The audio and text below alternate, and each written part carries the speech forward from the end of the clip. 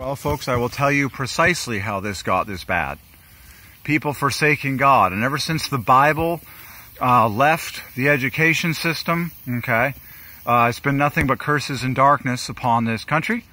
Um, and uh, yeah, that, that's it. If anything is ever bad in your life, it's because you're far from God.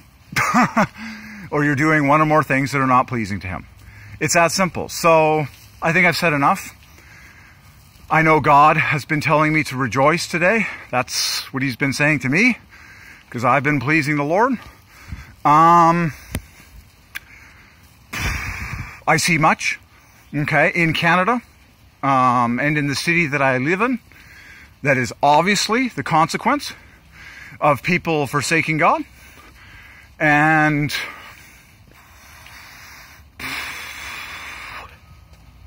at some point,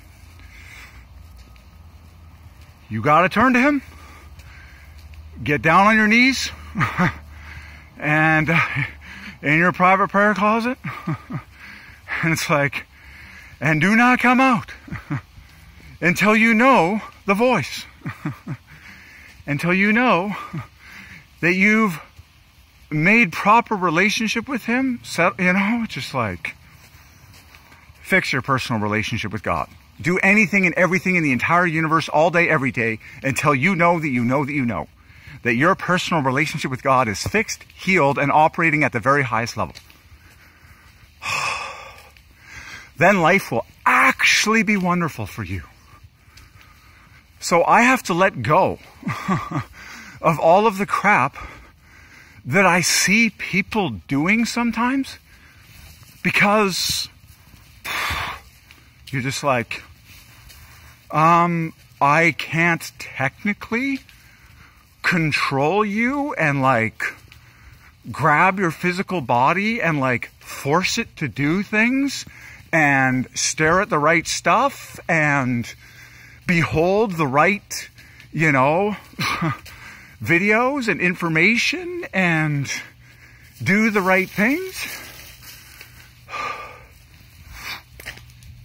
I can share exactly what God is doing and saying on this video camera, post it when I feel led to do so.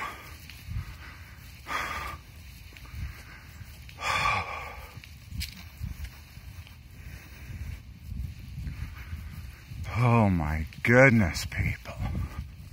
Someday, the world cannot be this miserable. It cannot be. like,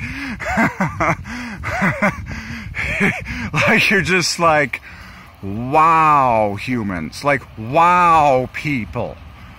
Woo!